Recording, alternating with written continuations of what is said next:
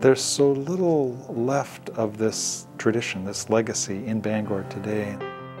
We have a Paul Bunyan statue and the Peirce Memorial and certainly the collections at the Bangor Historical Society, but other than that, you would never know today what Bangor's past was as, as the world's busiest lumber port. It just seems a little curious to me. Bangor's rise to prominence was slow in coming. It remained a frontier town well into the 19th century, with few settlers venturing this far north. All that changed when the timber industry discovered the Penobscot River region. Few towns then rivaled Bangor when the logs came out of the woods and down the river in the springtime. When that came through, and it pretty much came through all at once, um, there'd be an enormous amount of activity going on, sorting the timber out, moving it down into the town, sawing it up. Um, so there'd be an overwhelming preponderance of men uh, on Exchange Street and uh, probably having a pretty good time, um, having been up in the woods for, say, five, six months um, and completely isolated, and at least in theory, not having had a drink for that time they would be looking out for having a very good time when they were in Bangor. So, so you would see a lot of mixing of uh, sailors and lumberjacks, a lot of fights probably, and uh, a lot of very raucous behavior. This waterfront area of bars and upstairs brothels grew to become the notorious Hell's Half Acre. What you would smell, and I've heard this from several sources, is sawdust. Anywhere in town, that's the first clue that you're in a lumbering town, is you would smell the sawdust. And there would be boards and parts of boards and sawdust in the river. It's almost thick enough that you could walk across it. So all that stuff going into the river um, from the sawmills uh, would make it uh, both look and smell like a lumber town. The sounds, possibly you would hear some mills on the Brewer side. There were some fairly big mills over there and down on the Hampden shore there were some, uh, some good sized mills down there. So you would hear that too above the sound of the uh, lumberjacks.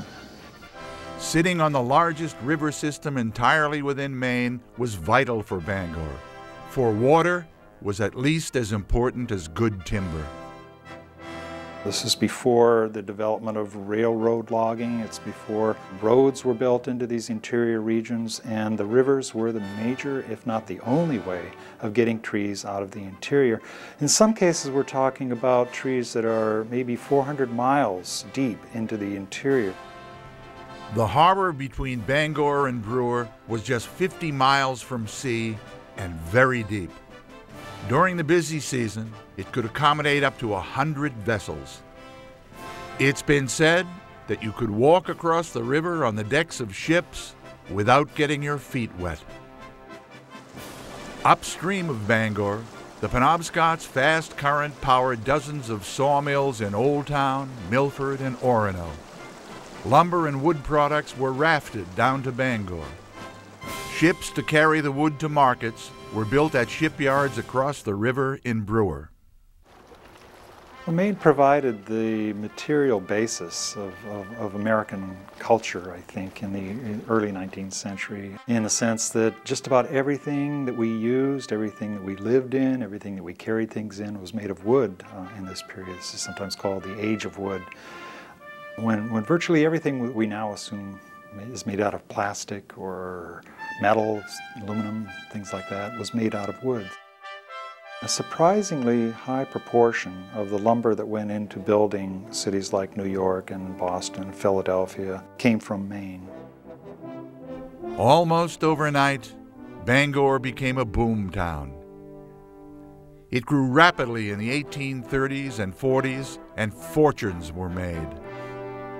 At one point late in the century, Bangor was said to be the richest city per capita in the world, prompting these comments from a visitor in 1835.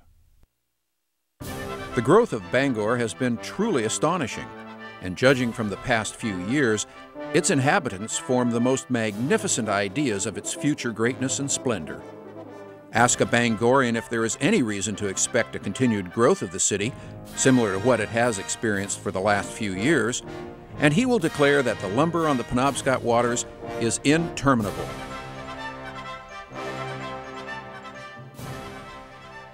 But the good times don't last forever. Newly built railroads open up new stands of forests in Wisconsin, Minnesota, and the Northwest.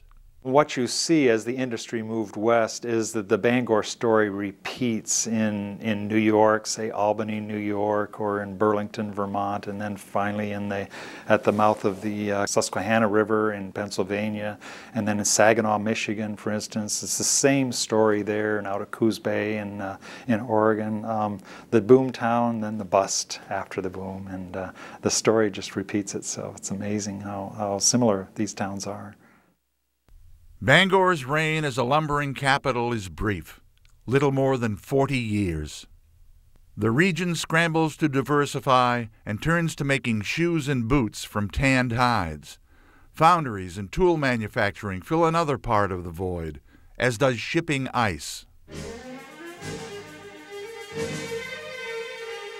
Its location became an asset again as the area became an ideal link to Down East summer resorts and inland sporting camps, as Bangor historian Bill Cook discovered. Uh, there were regular steamship lines between Bangor, Portland, Boston, and all up and down the East Coast. Again, that was in the 1870s, 80s, 90s, uh, about the same time as the railroads. So you get a lot of tourism. That's when you know, Bar Harbor started to blossom. Again, Bangor was sort of the jumping off point uh, to other points in Maine. Henry David Thoreau knew Bangor well, calling it a star on the edge of night. Thoreau used Bangor as his basis of operations when he came up here, you know, and for his trips to the North Woods. Uh, almost every trip to Mount Katahdin begins in Bangor. So Bangor was sort of the gateway to the North Woods for hiking, canoeing, hunting, fishing. As time went on, the area continued to find other ways to grow and prosper. But if you're looking for evidence of boomtown Bangor, that's getting harder and harder to find. The devastating fire of 1911 had much to do with that. It was the worst disaster in the city's history. Because most of the city was made of wood, the fire spread rapidly from building to building. It even jumped the Kenduskeag stream.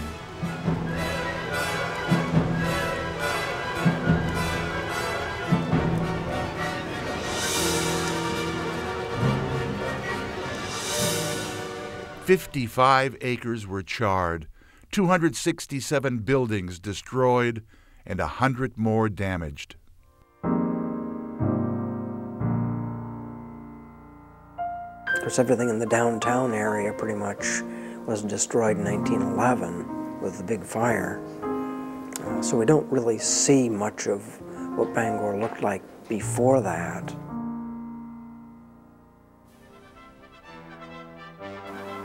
Up around the Bangor Theological Seminary, if you really look in, in a few narrow directions, you can almost see buildings that were original to Bangor and the, uh, the unique look to them. You can tell an older building in Bangor because the, the chimney is very, very high. And of course, that was made for the drafting because the higher the chimney, the better it drafts. If you really look, you can almost see the way it originally looked. And, and that's really all it is, just an impression. If you got a real good imagination, you can, you can see it.